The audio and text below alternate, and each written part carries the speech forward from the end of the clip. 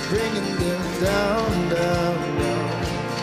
Yeah. We've all been looking for a silver lining, something to hold on to and hope's been hiding. I know a place where you can go if you wanna find it. And this isn't good news if you're breathing, it's for you.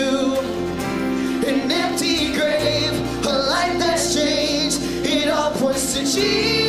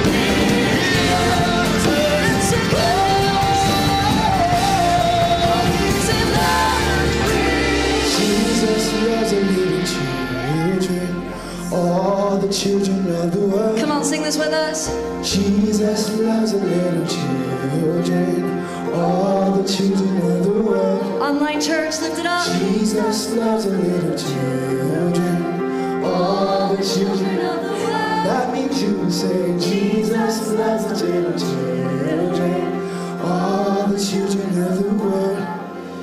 Yeah.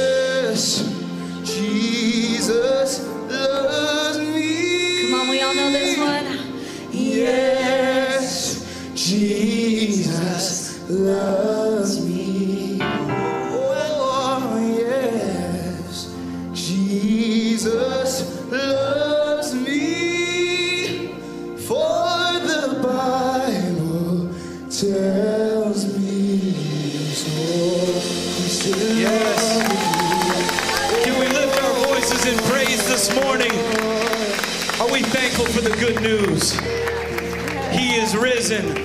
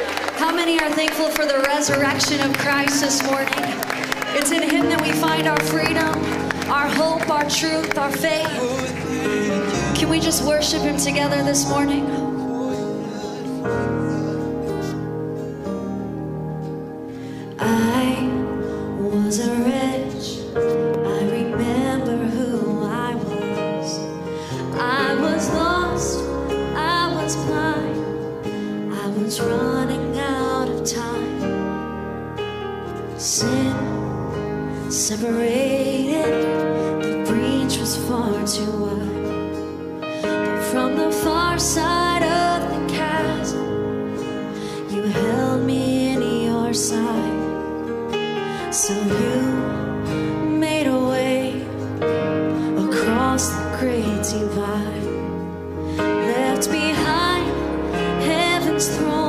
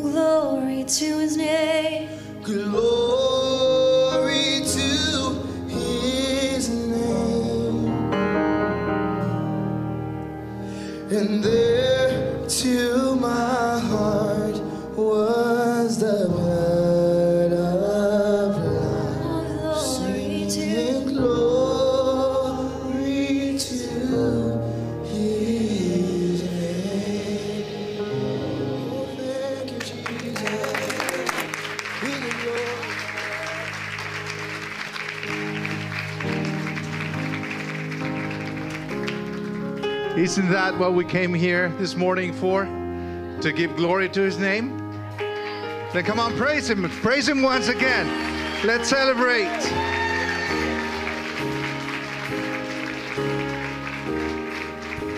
I was just blown away looking at the Friday picture.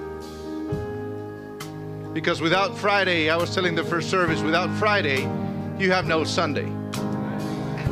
The blood has to be shed in order for us to be clean. But thank God that we didn't remain on Friday. Thank God that the world didn't end on Friday. And even though sometimes we are struggling in life as, is, as if we are going through Friday stuff, the ugly stuff, the suffering, the difficulties, and then Saturday came.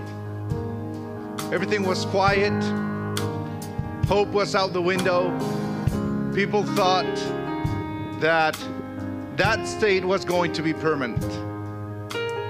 But Saturday, eh, Saturday end, ended, and Sunday came. And with Sunday came Resurrection Day. With Sunday came victory over sin. With Sunday came promises fulfilled and the glorious power of our Savior.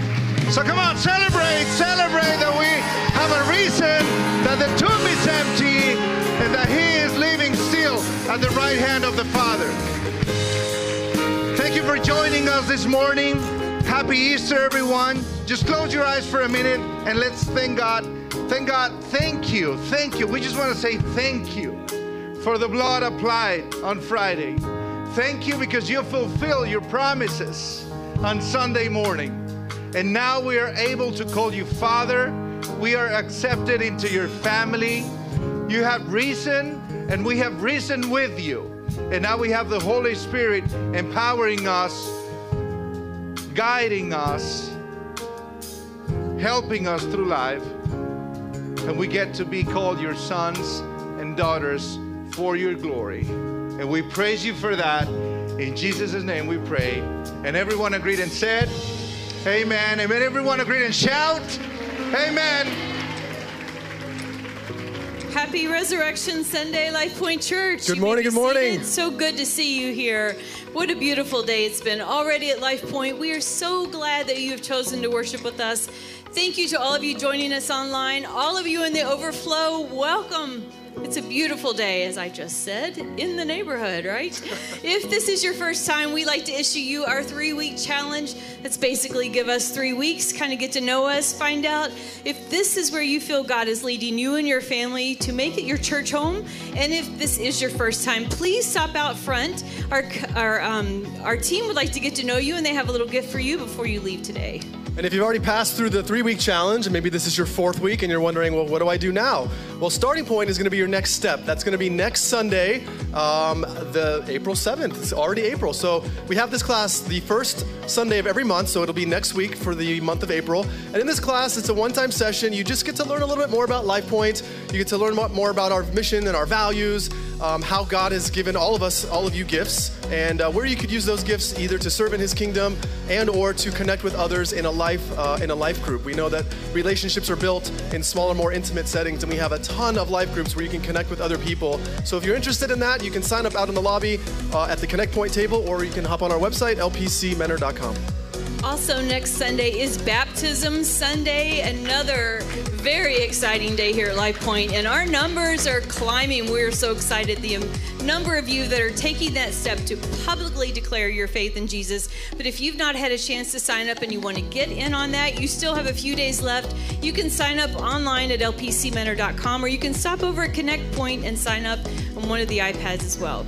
It has been a very powerful resurrection week, starting from Palm Sunday through Good Friday. We had the 12 hours of prayer here. Obviously, today we're here celebrating our risen King. There's been a lot of Dream Team members serving and a countless amount of people that have made this all possible. So, why don't you give them a round of applause for, for being here and being faithful?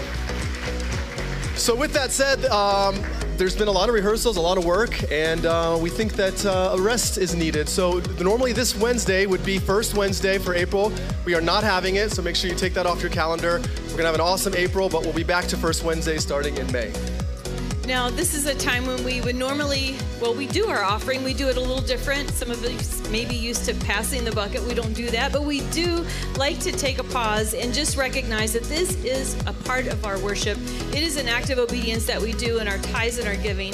And for those of you who may be new, we just like to remind you of the easy ways to give. You can give online at lpcmentor.com. You can text the amount that you want to give to the number 84321. Our ushers have the red buckets in the back, and there are also giving stations in the lobby and in the overflow areas. That's all we have. Thanks again for being here today. It is an amazing day. Let's get back to our service. Well, good morning, Life Point. Thank you. Who was that that said good morning? One person. Good morning, Life Point. Amen. It's so good to see each and every one of you. If you're visiting, this is your very first time, welcome to Life Point Church. We have people everywhere right now, all throughout this building. We have people in the overflow, which we've had all weekend. And some have been willing to just give up their seat in here so that you could be in here. So, would you let them know you appreciate them as well? And um, today actually marks 10 years. We launched our church 10 years ago. And um, so we give God all the praise and all the glory. And uh, he, he deserves it all. Amen. He really does. And um, so we're excited about this. We're excited about our future. We believe the best is yet to come. We really do believe that. And um, I don't know if you guys heard about the guy who took his wife and mother in law to Israel on, on a trip. And they were going to spend two weeks in, in Israel, the Holy Land. And um, two days into their trip, the mother in law unexpectedly passed away. And so they went, they were talking to the funeral director, and he said, Well, he said, in order for us to ship her body home, it's going to cost $10,000. But if you would like, we could bury her, bury her here in the Holy Land. We'll give you a plot for $150. And the father-in-law says, "Let me think about that for a minute." A couple minutes later, he said, "No." He said, "You know, I think we're gonna we're gonna ship her home." And um, the director looked at him and he said, "Well, do you understand? It's ten thousand dollars to ship her home. One hundred and fifty. She could be buried in the Holy Land. You can make it an annual trip to come back." And he said, "Yeah, I get it. I understand." He said, "But two thousand years ago, they buried a man here, and three days later, he got back up." He said, "I can't afford to take that chance." Look at your neighbor and say, "Neighbor, I love my mother in law. I know my mother in law's watching. We love you. And we thank God for you. Well, He is risen. Jesus is alive and well. Amen. He is risen. Let's go to Luke 24. Luke 24. And this is what it says. But early Sunday morning, the women went to the tomb taking the spices they had prepared. Now, these were the original Spice Girls. They found, it gets better, trust me. They found that the stone had been rolled away. So they went in, but they did not find the body of the Lord Jesus. As they stood there, puzzled, two men suddenly appeared to them, clothed in dazzling robes. The women were terrified and bowed with their faces to the ground. Then the men asked, Why are you looking among the dead for someone who is alive? He isn't here, he is risen from the dead. Remember what he told you back in Galilee the Son of Man must be betrayed into the hands of sinful men, be crucified, that he would rise again on the third day? Then they remembered. Oh, yeah, I remember that. So they rushed back to the tomb to the 11 disciples to tell his 11 disciples and everyone else what had happened Mary Magdalene, Joanna, Mary, the mother of James, and several other women who told the apostles what had happened. Now, I want you to look at this next line. But the story sounded like nonsense to them. Now, these are the same men who spent three and a half years of their life with Jesus. And they said they didn't believe it. Father, we thank you and we praise you. We give you all the glory and we give you all the honor. Amen and amen. As I said 10 years ago, we launched Life Point Church on Easter Sunday. And the message that I preached, some of you were there, the message that I preached was checkmate. And so you're going to see the chessboard, the makeshift chessboard here. And um, trust me, it's not the same sermon. Um, but Spurgeon said if a sermon's worthy of preaching one time, it's worthy to be preached a thousand times. So I'm not a chess guy, I'm more of a checkers guy. Any chess people in the room today? What about down on in the overflow? Any couple of you I see? Um, chess is a game of thought. It's a game of strategy. It's a game where you have to be constantly thinking ahead for the next move, several moves ahead. As a matter of fact, they tell us that great chess players can think 10 to 15 moves ahead while anticipating what their opponent is going to do as well. So it's a, great, a game of wit, it's a game of strategy. But the goal is to surround the king. Am I right, chess players? The goal is to surround the king. And when the king has no more moves, nowhere else to go, the game is over, and the winner says, checkmate. They say checkmate. And once checkmate is declared, that means the game is over. There's a painting I want you to see, and um, we're going to look at this painting right now. And this painting represents on the um, left represents the devil, feather in his hat, and he's playing chess against this young man. And um, you can see that he's glaring at this young man. Um, he's got this arrogance about him. And um, the opponent seems dejected, disheartened, and it appears as though it's checkmate. You look at the board, it appears as though the game is over. And so, for centuries, people have said that chess is a lot like life. In fact, one of the great chess masters was asked, What is chess? And he responded, What is life?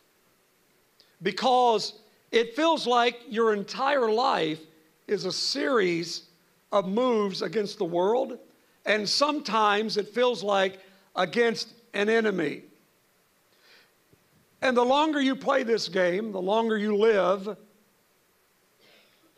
it almost seems as though things are closing in. It almost seems as though in certain seasons of your life, you have no more moves to make. And it seems as though that life and the enemy is screaming to you, checkmate. So for a lot of a lot of us, this is how life feels. All hope is lost. The game of life is over. There isn't another move that I can make. I feel trapped. I feel like there's no way out. And I feel like it's checkmate for my life. And some of you may feel that way today. Some of you may be here today and you feel like you're in a relational checkmate. I mean, the marriage is already hanging on by a thread. You've tried everything you know to do. You've, you've, you've done everything possible, and it feels like I'm just out of options. I don't know what else to do. And then there are others that are here, and you feel like you're at a financial checkmate in your life. Um, things are tight, the bills keep closing in on you. You're surrounded by this mountain of debt, and you have more month than you have money, and it just seems as though there's a checkmate being declared over your finances. For some, it might be health. You've tried your whole life to live healthy, to do right things, to get the right results, and all of a sudden you get a report back that says it's cancer. And it seems like you're hearing the word checkmate. And there may be somebody online, there may be someone in the overflow room that you're dealing with addiction or a loved one is dealing with addiction. And so the numb, to numb the pain and, and to hide the shame, they find themselves ensnared and trapped in an addiction. And then let's just broaden it out for a minute and let's just think about our nation. When we think about our nation and everything that's going on in our world today, it seems as though the enemy is laughing and declaring checkmate over our nation. And you may feel like you're in an impossible situation. But here's what I want you to realize today, and that is this we worship a God of the impossible. We worship a God of the impossible. As a matter of fact, the Bible is filled with people, just like you and I, dealing with life experience, who, who entered into seasons of their life where it seemed as though it was checkmate. One of those would be Abraham and Sarah. They were at a checkmate time in their life. See, they were believing God for a child. God had promised them a child. 25 years had gone past. And now they're at a point where he's 99, she's 90, and they're feeling like it is impossible for God to fulfill his promise of a child. Because of their age and their circumstance, it seemed hopeless and it seemed helpless. And then God asked them a rhetorical question. This is what he asked them Is there anything too hard for me? And the answer is categor- categorically no, there is nothing too hard for the Lord. How many of you really believe that today? How many of you believe that there's really nothing too hard for the Lord? Job found himself in a check, checkmate season of his life.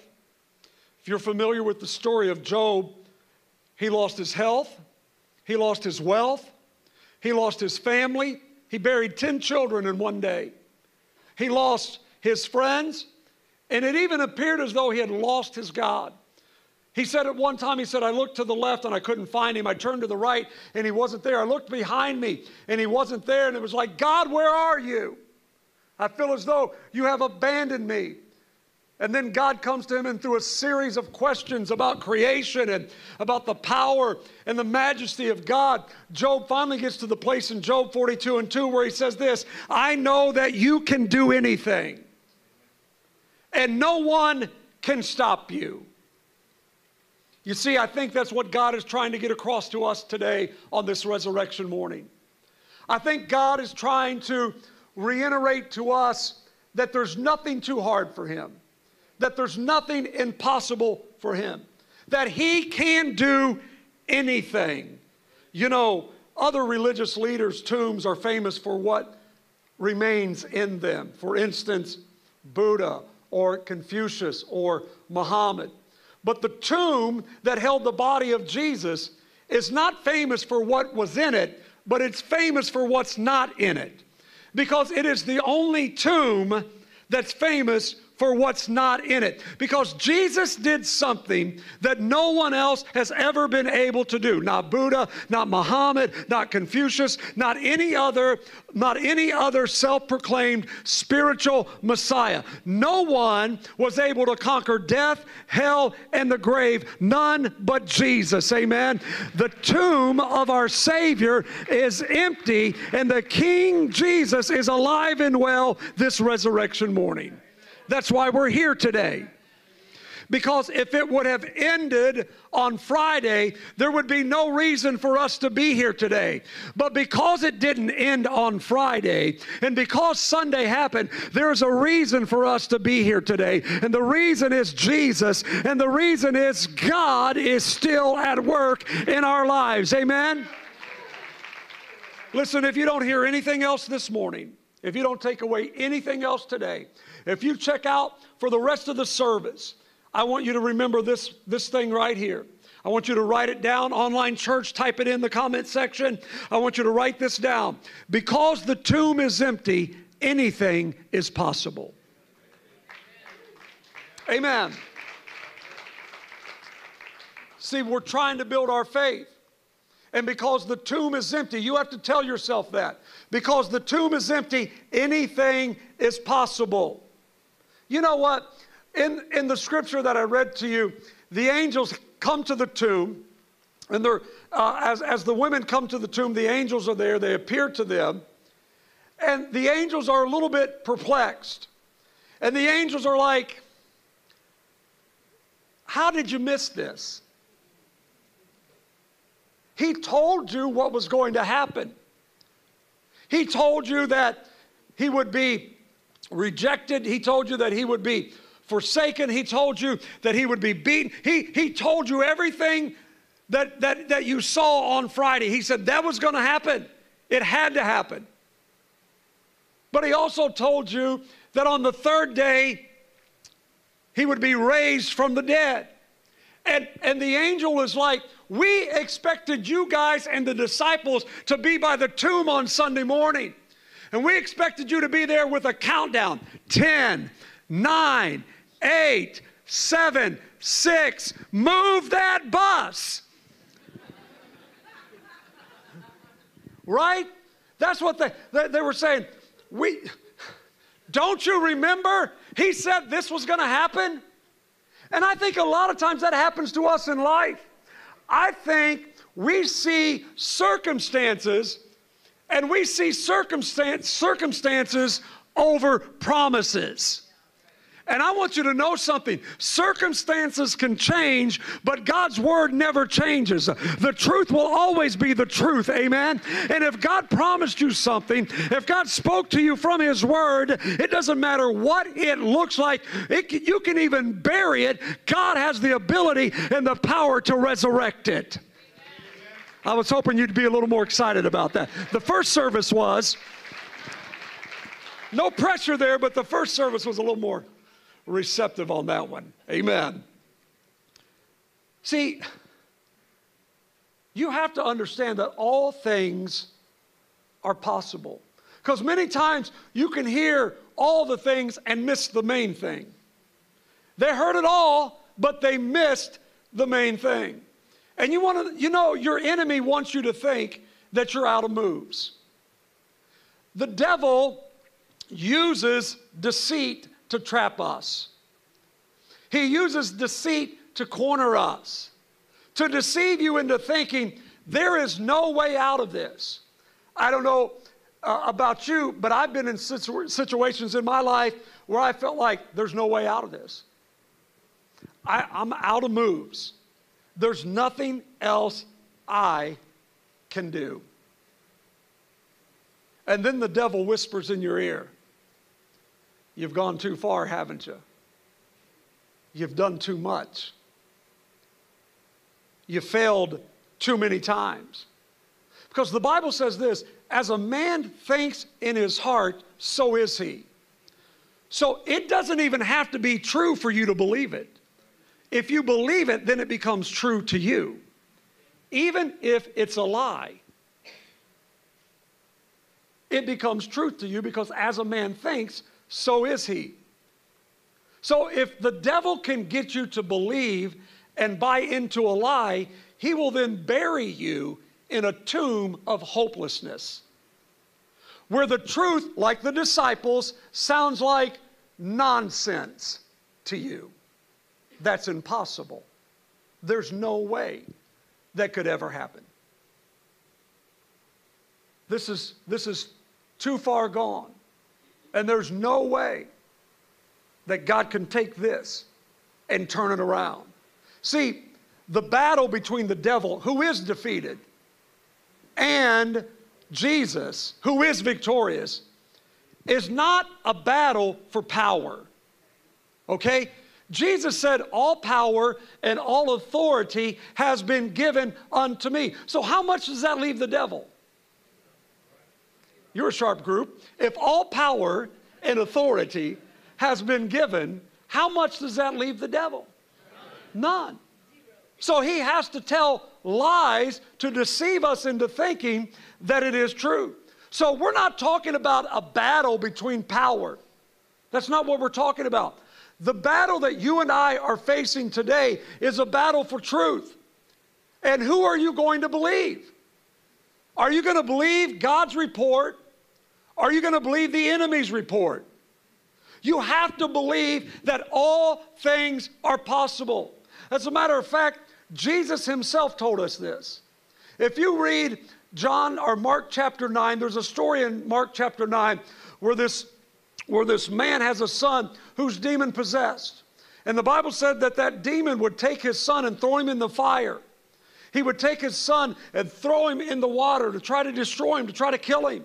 He had no control over this thing. And he brought, he brought his son to his disciples, and the disciples couldn't do anything with him.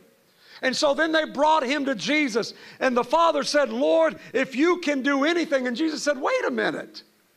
What do you mean if I can do anything? I'm in Mark 9 23 now. He said, What do you mean if I can do anything?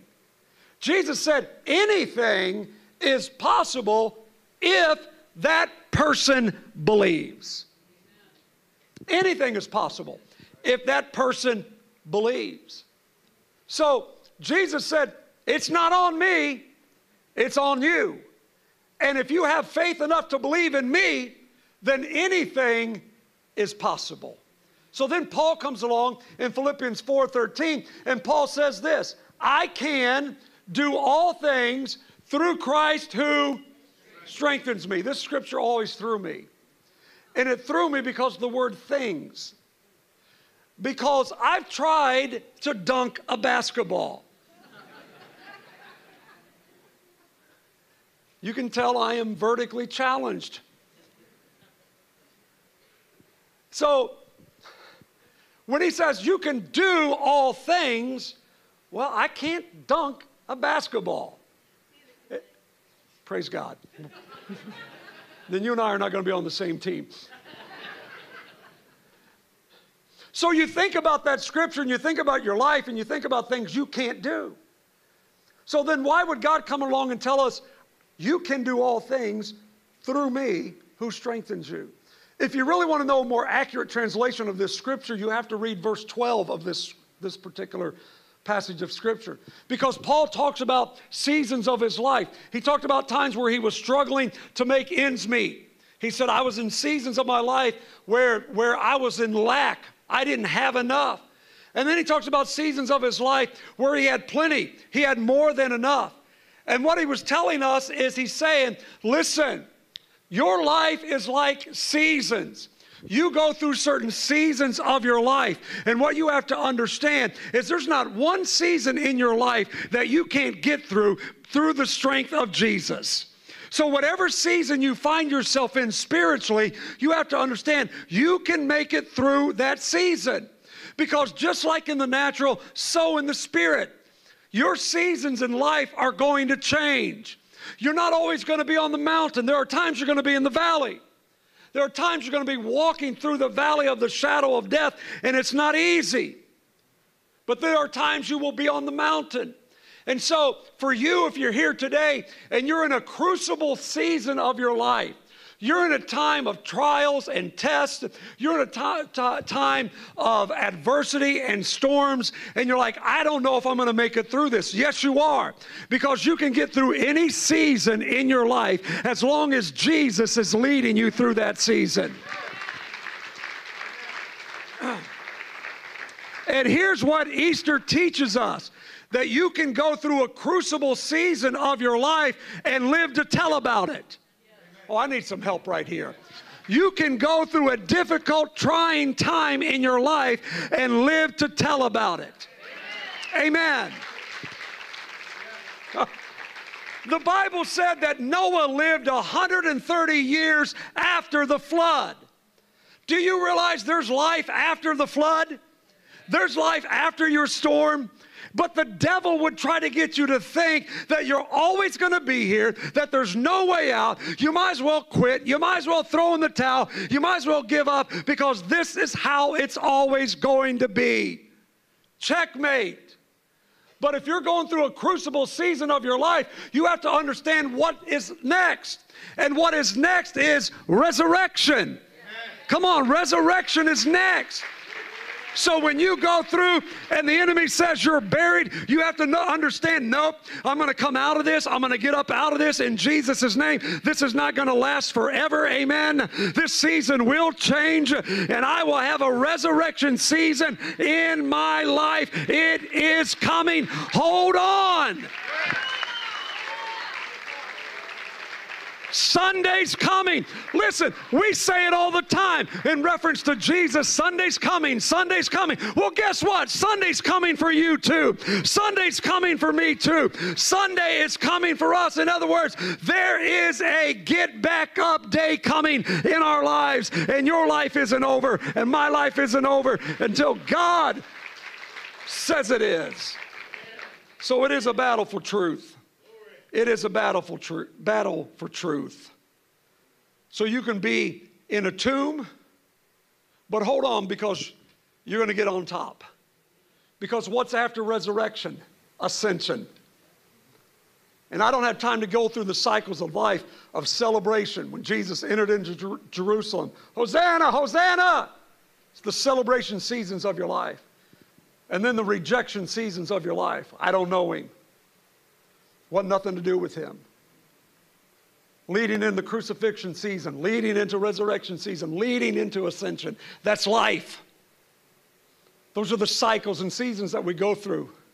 Don't get locked in to thinking it's checkmate. The death of Jesus was not the end of Jesus. Jesus said, It is finished. He didn't say, I am finished. Come on. He said, It is finished. I'm not finished. And if he's not finished, that means you're not finished. That means there's hope for you today. That means there's, there's life for you today. I want you to look at this scripture because Paul tells us about this life that you and I can have. Listen to what it says in Romans 8 11. He says, The Spirit of God who raised Jesus from the dead. Okay? Are we clear with that? Lives in you. Not an angel, not the third cousin of Jesus, but the same Spirit lives in you. And just as God raised Christ from the dead, He will give life to your mortal bodies by this same Spirit living within you. You know what this verse is telling us?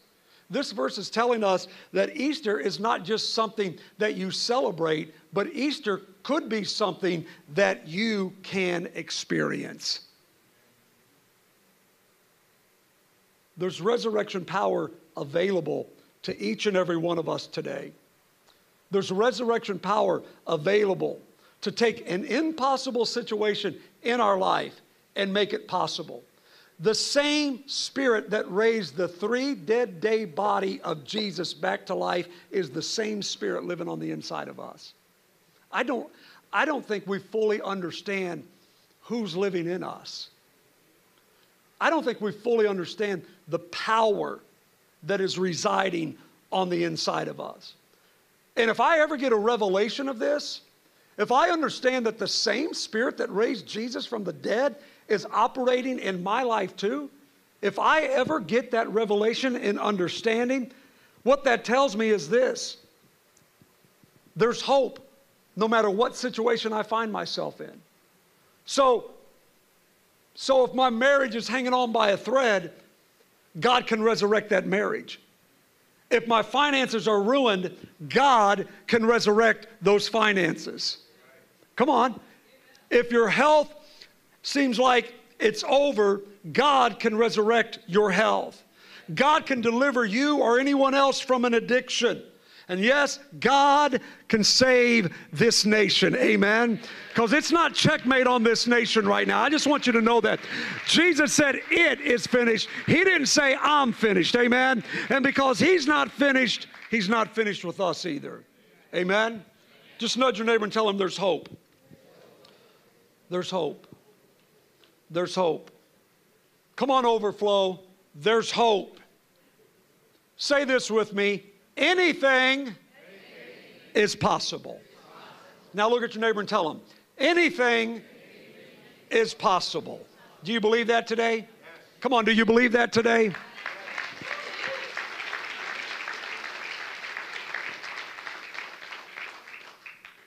Guys, if you'll put that painting back up, I want to just share something with you as I close. You believe that? I'm closing. I told you anything was possible. You just didn't believe.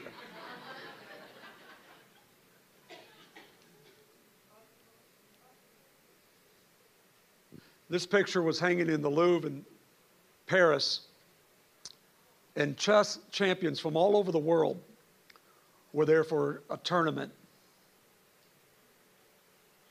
And so they had taken time to go through the museum, and all the champions were walking through, and they come across this picture. They stayed there and they looked at it for a while. And they just moved on to other pictures and other things in the museum. But one champion stayed behind, and he looked at it.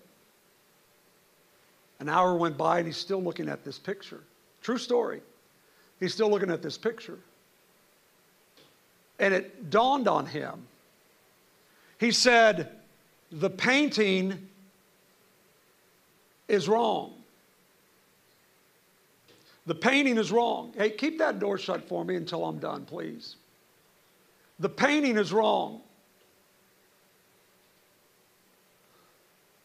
He said the painter got it wrong.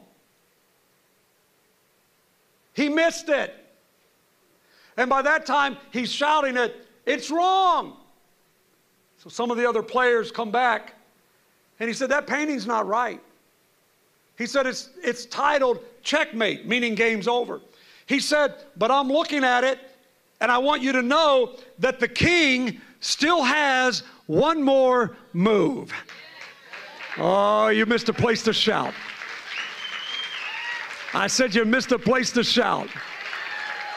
You remember Jesus, don't you? Put a crown of thorns on his head, nailed his hands to a cross, pierced his feet, pierced his side, mocked him, ridiculed him, spat on him, made fun of him, took him down put him in a tomb, and hell had a party. One of those all night Lionel Richie parties. all night long. All night Friday night, silent Saturday, and hell was partying. And this is what they were saying checkmate. And they were going by, this is my version, high fiving each other, checkmate, checkmate, checkmate. And then God says, I don't think so. Because Sunday's here. Come on, stand to your feet as you're giving the Lord praise. I don't think so. You want to know why? Because the king still has one more move. Do you believe that today? I said, Do you believe that today? I want you to know in your life, I don't care how bad it looks,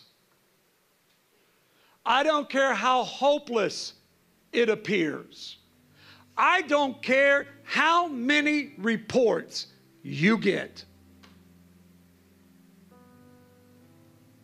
The king still has one more move.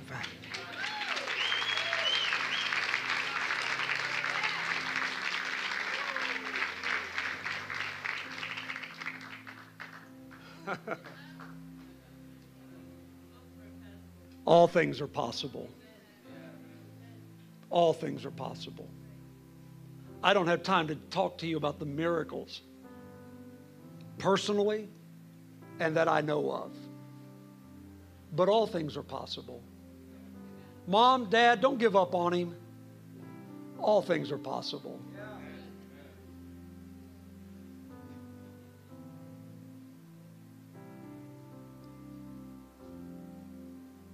Married couples, don't give up on each other. It's possible. It's possible. Don't you dare give up on this nation. As long as you're here, the same spirit that raised Christ from the dead is here. Amen. Don't you believe the lie. Don't you believe it.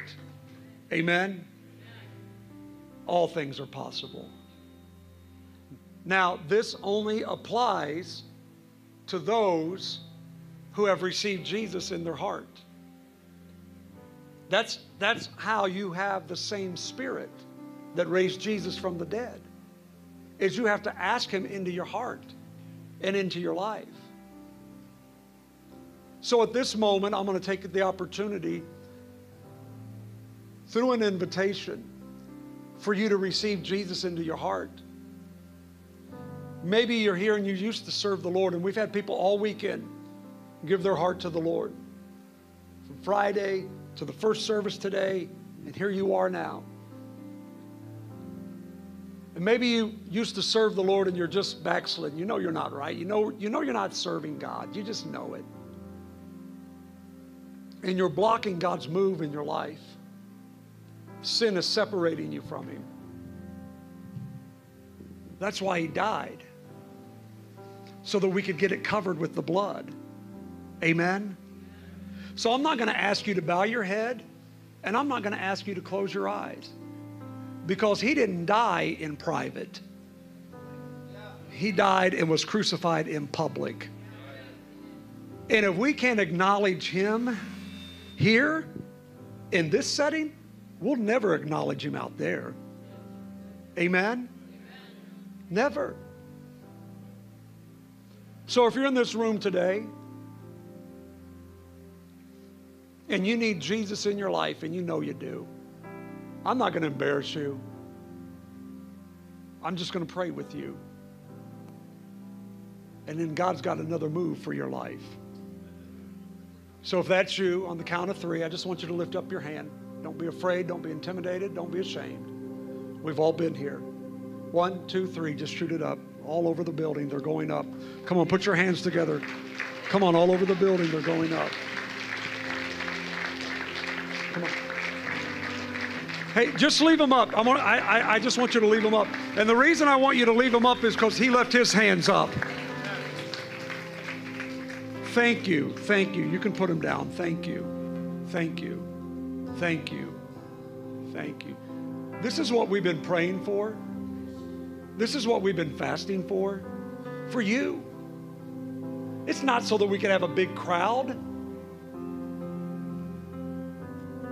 It's so that people would come to the saving knowledge and grace of Jesus.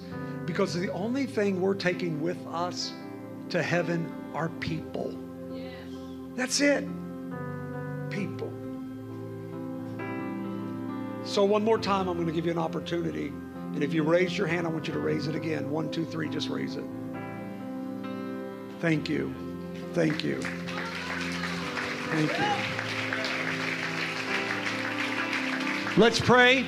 Repeat this prayer after me. Dear Jesus, I ask you now, forgive me of my sins. Wash me in your blood. I believe you're the Son of God. I believe you died for me. I believe you rose on the third day. I believe you're coming very soon. And I want to be right and I want to be ready. So I receive you now as my Lord and as my Savior. Thank you for your sacrifice. Thank you for dying for me. I receive you now as my Lord and my Savior. And from this moment on, I'm going to serve you. And when I fail, I'm going to get back up because the same Spirit that raised Jesus from the dead lives in me, and He can pick me back up from any failure and any sin in my life. Jesus, I thank you for saving me. It makes me so happy. I want to shout.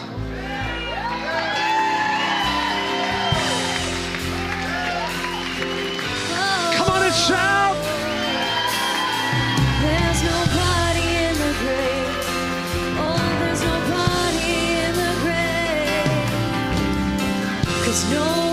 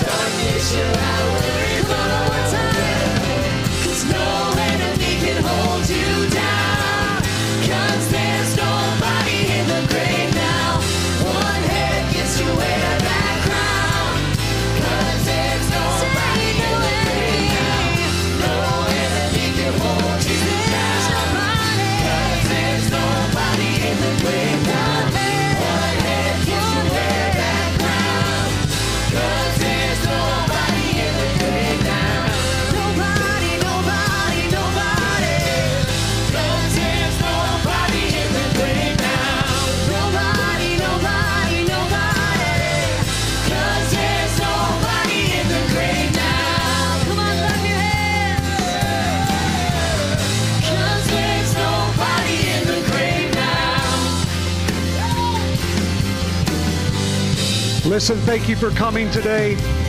Thank you for celebrating the resurrection with us today. If you prayed that prayer, we would love we would love to connect with you. We have some information we want to give you. If you want more prayer, we have people that all week have been praying for you and are here to pray with you. So if you'll just wait until the, everybody kind of gets out, or you want to come to the altar, you can do that as well. We're here to pray with you, or just stay in your seat. Someone will get to you. But we thank you again for being with us today. Remember this as you leave The King still has one more move, and anything is possible for them who believe.